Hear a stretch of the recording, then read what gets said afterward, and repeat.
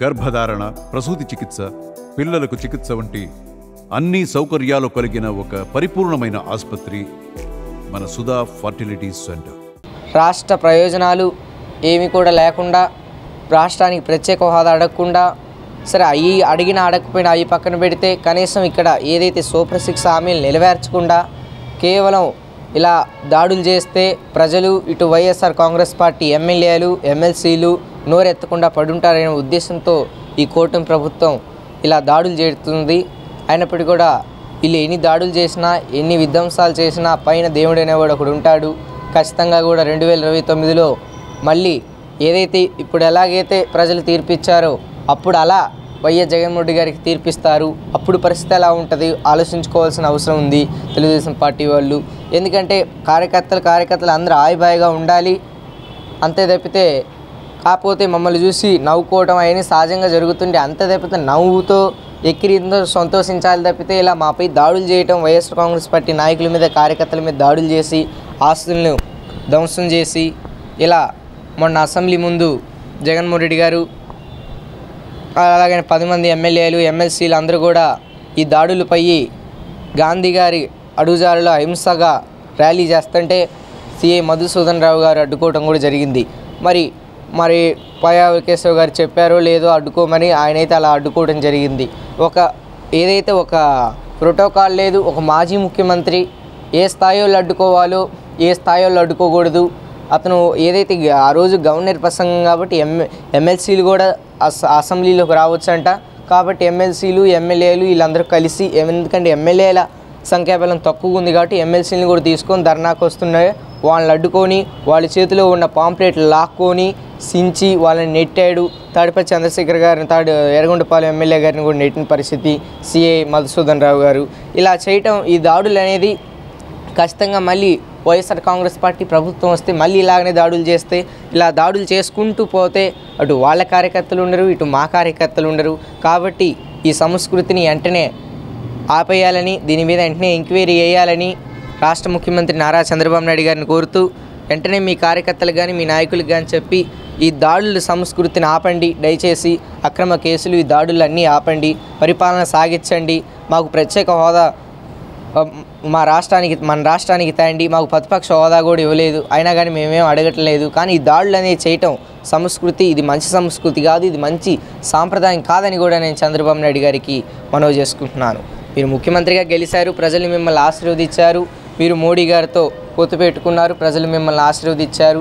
ఖచ్చితంగా కూడా ప్రజలకి మేలు చేసే వాళ్ళకి మంచి చేసే కార్యక్రమం చేయాలి తప్పితే ఇలా వైఎస్ఆర్ కాంగ్రెస్ పార్టీ నాయకుల మీద కార్యకర్తల మీద అభిమానుల మీద వైఎస్ఆర్ గారి విగ్రహాలను ధ్వంసం చేయటం గతంలో వైఎస్ఆర్ కాంగ్రెస్ పార్టీ ప్రభుత్వం ఉన్నప్పుడు ఏనాడైనా కానీ ఎన్టీ రా ఎన్టీ రామారావు గారి విగ్రహాల జోలి పోలా ఇంకా జగన్మోహన్ రెడ్డి గారే ఈ కృష్ణా జిల్లాని ఎన్టీఆర్ జిల్లా అని పేరు కూడా పెట్టారు. ఎందుకంటే ఎన్టీ రామారావు గారు అంటే జగన్మోహన్ రెడ్డి గారికి కానీ వైఎస్ఆర్సీపీ కానీ ఎంతో గౌరవం. ఎందుకంటే ఆయన పెద్ద ఆయన మంచివాడు మంచి చేశాడు ఆయన హయాంలో అనేది ఎన్టీ రామారావు గారు అంటే అంత గౌరవం. అంతేగాని ఏ రోజు కూడా ఎన్టీ రామారావు విగ్రహాలు రోడ్లకు అడ్డంగా ఉన్నప్పటికి కూడా పక్కన నుంచి రోడ్లు వేసారు తప్పితే ఎన్టీ రామారావు విగ్రహం తీసేయలేదు. ఎన్- ఎందుకంటే ఎన్టీ రామారావు గారు అంత గౌరవం మాకు. మరి రాజశేఖర రెడ్డి గారి విగ్రహాలు తగలబెట్టడం విధ్వంసాలు చేయటం ఊళ్ళలోంచి తరిగి కొట్టడం ఇళ్ళల్లో ఇళ్ళల్లో కొట్టడం ఇలాంటి దా ఇలాంటి దాడుల్ని సంస్కృతిని వెంటనే ఆపేయాలి. గవర్నర్ గారు కూడా మరి చూడాలి దీని మీద ఎంక్వైరీ వేయించాలి ముఖ్యమంత్రి చంద్రబాబు నాయుడు గారు డిప్యూటీ సీఎం పవన్ కళ్యాణ్ గారు కూడా వీటినన్నిటిని వెంటనే ఖండించి దాడులు ఆపవలసిందిగా నేను YSR Congress party social media కార్యకర్తగా మిమ్మల్ని నేను కోరుతూ సెలవు తీసుకుంటున్నాను. నమస్కారం. ఢిల్లీలో జగన్మోహన్ రెడ్డి గారు ధర్నా చేపట్టారు. ఓకే. జాతీయ పార్టీలు కూడా మద్దతు ఇవ్వడం జరిగింది. దీనిపైన మీ అభిప్రాయం? ముఖ్యంగా ముందుగా నాలుగోసారి సీఎంగా ప్రమాణ స్వీకారం చేసిన నారా చంద్రబాబు నాయుడు గారికి హృదయపూర్వకమైన ధన్యవాదాలు తెలియజేస్తూ నారా చంద్రబాబు నాయుడు గారు మరి ప్రజలు ఆశీర్వదించారు మరి ఆయన పరిపాలన సాగించాలి తప్పితే ఇలా వైఎస్ఆర్ కాంగ్రెస్ పార్టీ నాయకుల మీద కార్యకర్తల మీద సానుభూతి పరుల మీద అపమానుల మీద దాడులు చేయటం ఏమాత్రం ఇది న్యాయంగా లేదు. మరి పెద్ద ఆయన నాలుగోసారిగా గెలిచాడు నాలుగోసారి గెలిచాడు ముఖ్యమంత్రిగా.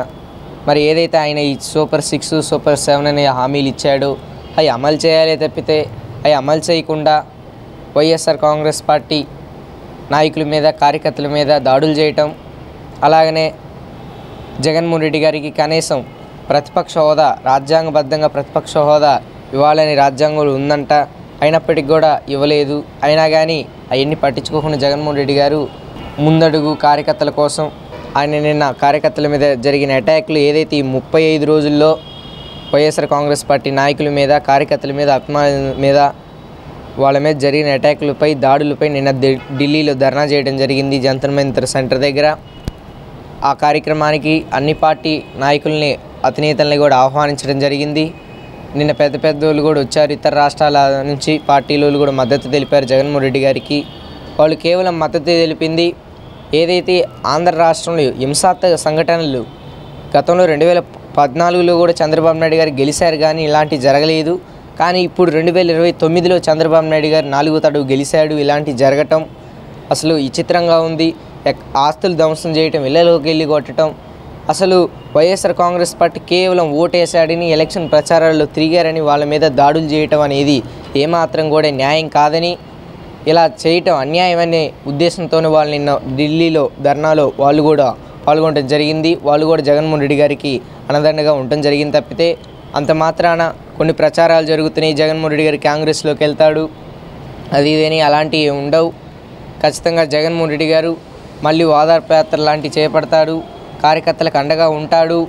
ఏదైతే ఈ తెలుగుదేశం పార్టీ ప్రభుత్వం తమ హామీలు నెరవేర్చి మేము ఇది చేసాం మా వ్యాయామంలో అని చెప్పుకునేదాలా హామీలు నెరవేర్చాలి రాష్ట్రాన్ని అభివృద్ధి చేయాలి తప్పితే ఇలా వైఎస్ఆర్ కాంగ్రెస్ పార్టీ నాయకుల మీద కార్యకర్తల మీద సానుభూతి పరుల మీద అపమానుల మీద దాడులు చేయడం అనేది ఇది కరెక్ట్ కాదు. ఈ సంస్కృతి బీహార్ సంస్కృతి అని తేటం జరుగుతుంది. ఇదని చాలా డేంజర్ కూడా. అంతేకాకుండా జగన్మోహన్ రెడ్డి గారికి భద్రత కూడా తగ్గించారు. మరి ఒక మాజీ సీఎం మరి అలాగనే వైఎస్ఆర్ కాంగ్రెస్ పార్టీ అధ్యక్షులు అయినప్పుడు కూడా ఐదుగురున ఆరుగురున ఇచ్చారు. అలాగే నా పాత బుల్లెట్ ప్రూఫ్ వాహనం ఇచ్చారు. ప్రభుత్వం జగన్మోహన్ రెడ్డి గారి భద్రతపై కూడా ఎంతో నిర్లక్ష్యంగా ఉంది. సరే ఈ భద్రత జగన్మోహన్ రెడ్డి గారి భద్రతపై నిర్లక్ష్యం? ఖచ్చితంగా జగన్మోహన్ రెడ్డి గారు మళ్ళీ ఓదార్పు యాత్ర లాంటివి చేపడతాడు కార్యకర్తలకు అండగా ఉంటాడు. ఏదైతే ఈ తెలుగుదేశం పార్టీ ప్రభుత్వం తమ హామీలు నెరవేర్చి మేము ఇది చేసాం మా వ్యాయామంలో అని చెప్పుకునేదాలా హామీలు నెరవేర్చాలి రాష్ట్రాన్ని అభివృద్ధి చేయాలి తప్పితే ఇలా వైఎస్ఆర్ కాంగ్రెస్ పార్టీ నాయకుల మీద కార్యకర్తల మీద సానుభూతి పరుల మీద అపమానుల మీద దాడులు చేయడం అనేది ఇది కరెక్ట్ కాదు. ఈ సంస్కృతి బీహార్ సంస్కృతి అని తేటం జరుగుతుంది. ఇదని చాలా డేంజర్ కూడా. అంతేకాకుండా జగన్మోహన్ రెడ్డి గారికి భద్రత కూడా తగ్గించారు. మరి ఒక మాజీ సీఎం మరి అలాగనే వైఎస్ఆర్ కాంగ్రెస్ పార్టీ అధ్యక్షులు అయినప్పటికీ కూడా ఐదుగురున ఆరుగురున ఇచ్చారు. అలాగనే ఆ పాత బుల్లెట్ ప్రూఫ్ వాహనం ఇచ్చారు. ప్రభుత్వం జగన్మోహన్ రెడ్డి గారి భద్రతపై కూడా ఎంతో నిర్లక్ష్యంగా ఉంది. సరే ఈ భద్రత జగన్మోహన్ రెడ్డి గారి భద్రతపై నిర్లక్ష్యం రాష్ట్ర ప్రయోజనాలు ఏమి కూడా లేకుండా రాష్ట్రానికి ప్రత్యేక హోదా అడగకుండా సరే అవి అడిగినా అడగకపోయినా అవి పక్కన పెడితే కనీసం ఇక్కడ ఏదైతే సూపర్ సిక్స్ హామీలు నెరవేర్చకుండా